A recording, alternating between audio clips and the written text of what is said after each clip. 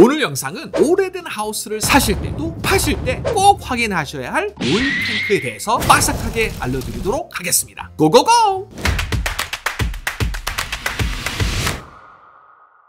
안녕하세요. 스티브한 부동산 TV의 스티브한 인사드리겠습니다. 반갑습니다.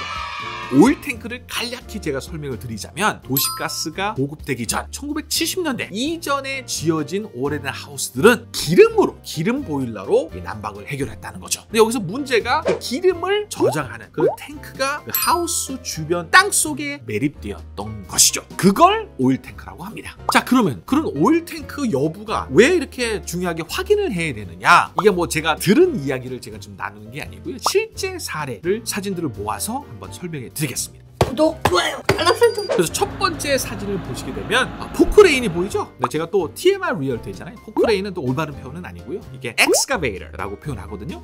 아, 이게 또 엑스칼리버는 또 아니고요. Excalibur. 근데 이 집은 저희 고객이 저한테 의뢰를 해주셔가지고 제가 매도를 도와드렸던 집인데요. 이 집이 1950년대에 지어진 집이거든요. 그럼 딱 생각드는 게 어, 1970년대 이전에 지어진 집들은 오일 탱크가 매립되어 있는 확률이 높잖아요. 그래서 제가 한번 그런 뭐 서류를 받으시고 혹시 사셨나요? 라고 한번 제가 여쭤보니까 서류가 있으시다는 거예요. 그 서류가 바로 그 다음 사진입니다. 이게 지금 보시면은 이제 96년도에 아, 만들어진 서류이거든요. 근데 타이틀을 보시면 Decommissioning Document라고 써있 근데 decommission이란 말은 뭐냐면 차단하다라는 뜻이거든요. decommissioning. 차단했다는 서류이지 removal, 제거했다는 서류는 아니거든요. 그래서 제 고객은 96년에 만들어진 이 서류만 가지면 문제가 없다고 들으셨고 그 당시로서는 맞아요. 뭐 이런 용어도 있잖아요. 그때는 맞고 지금은 틀리다.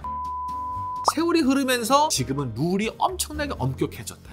그래서 관리 감독이 그냥 시청에서 끝나는 게 아니라 심지어 주 정부에서 관리 감독을 할 정도로 법이 강화됐다. 그래서 제가 제 고객을 잘 설득을 해서 점검을 받아봤어요. 그럼 어떻게 점검을 하느냐? 모래사장에서 여러분 그거 아시죠? 동전 줍는 거. 이거 듣고 띠디디디디디 이런 식으로 metal detector라고 그러거든요. 좀 굴리면 metal detector를 갖고 도는 거예요. 띠디디디디 디디 나왔습니다. 근데 어디에 나와 있냐면 그 다음 사진 프로퍼티 라인이거든요. 노란색이 하우스의 경계선을 뜻하는데요. 자 옆집하고 딱 중간에 이렇게 놓여져 있었던 거예요. 그리고 나무로 대나무 숲으로 덮어져 있어서 찾기가 아주 수월하지 않았던 거죠. 저는 분명히 있을 거다라고 판단했던 게 맞았던 거죠. 그 다음 사진 보시면 실제로 삽으로 트고 있죠? 땅땅땅 거리니까 이제 탱크 같은 게 있어서 삽으로 조심히 퍼내야 됩니다. 이게 막 으아 찾았다 막 이러면 또 오일이 또 새고 막 그럴 수 있어서 아주 조심스럽게 진행을 해야 됩니다. 다음 사진이 보시면 나무 밑으로 포크레인이 어느 정도 진행됐고 그 다음에 손으로 파서 구멍이 보입니다. 동그랗게 그렇죠. 이 정도 사이즈의 오일 탱크가 있었던 거죠. 그 다음 사진이 바로 빠밤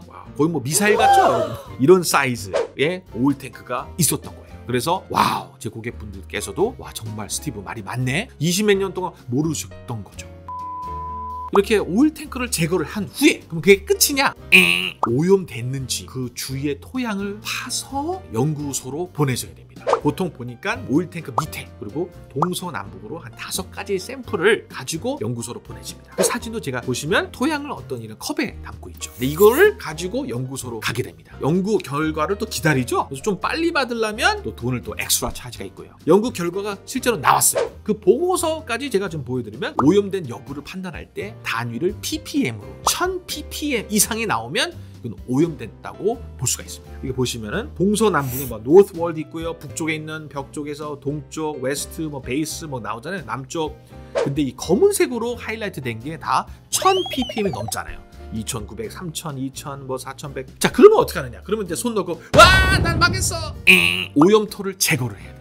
그래서 이렇게 1000ppm이 안 나올 때까지 계속 손으로 파는 거예요. 파고 이분이 오셔서 또 다섯 개 가져가고 또 연구 결과 기다리고 또 천이 나왔다. 또 파야 되고 다행히 두세 번을 하고 나서 결과가 나왔죠. 그게 이제 다음 자료 사진인데요. 보시면은 the results of the samples are as follows. 다 보시면 북, 남, 동, 서, base 다섯 가지 샘플에서 다 천 이하로 나왔죠. 예! 이 마지막 문장이 이제 자유로워진 겁니다. 자 보시면 the tested soil from the final excavation limits is therefore classified as not contaminated. 오염되지 않은 걸로 매겨집니다. 라고 chemical engineer, 이 환경 평가를 해주는 보고서를 써주는 사람이 사인까지 해서 저에게 보내왔습니다. 이렇게 해서 저희가 그 당시 바이어한테 보여주고 deal이 잘 진행이 됐던 거죠. 그래서 이렇게 오일 탱크가 없다고 여겼던 집도 확인해 본 결과 오일 탱크가 나왔던 것처럼 오일 탱크가 없어, 어, 오일 탱크가 없어 라고 해서 또 사는 그런 경우도 있을 수 있겠죠. 그래서 뭐 아무도 모르게 뭐 세월이 흐를 수도 있어요. 근데 문제가 나중에 이 집의 재건축을 하시거나 또는 재개발이 될 때 그때 시청에서 갖고 와봐 환경 평가겠죠. 그때 이제 파보니 wow 이렇게 막 드럼통에 있으면 또 오염이 혹시나 되었다면 또 진짜 언덕배기요 이게 경사가 심한데 막 누수가 돼가지고 이 오염이 자기 집만 아니라 여러 주위 집까지 피해를 줬다면 책임이 걷잡을 수 없잖아요. 그래가지고 오래된 집을 사고 파실 때는 경험이 많은 네, 저처럼 이런 전문가와 상담을 해보시고 한두 번 끝나지 말고 여러 번 꼼꼼히 체크하시고 또 낭패를 보지 마시라는 그런 취지하에 이렇게 영상을 찍어봤습니다. 오늘 영상도 유익하셨다면 좋아요, 구독, 알림 설정 잊지 마시고 저희의 큰 힘이 된다는 거 그리고 또 주위에도 공유 부탁드립니다. Alright, as always, thank you all for watching. I'll see you next time. Bye bye.